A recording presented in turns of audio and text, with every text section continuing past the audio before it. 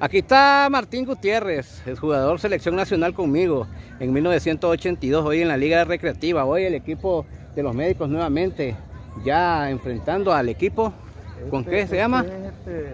Bueno, lo importante esto, Martín, que ya la Liga Recreativa ya se abrió nuevamente, ya a continuar este torneo. ¿Cómo ves al equipo de los médicos para este nuevo torneo? ¿Cómo lo ves, Martín? Lo veo bastante competitivo. Espérame, quiero decirte que la entrevista es patrocinada por Movitrans, servicio de grúas, montacargas, y mucho más, Martín. Ahora sí, dígame. Eh, lo veo que está competitivo, tienen más o menos ese nivel. Son dos o tres equipos que los que andan andan por arriba, pues, pero la mayoría de los equipos están competitivos, están, estamos bien. ¿Están de tú a tú entonces? Estamos de tú a tú los viejos, sí, hombre, ahí estamos. ¿Nuevos jugadores en el equipo?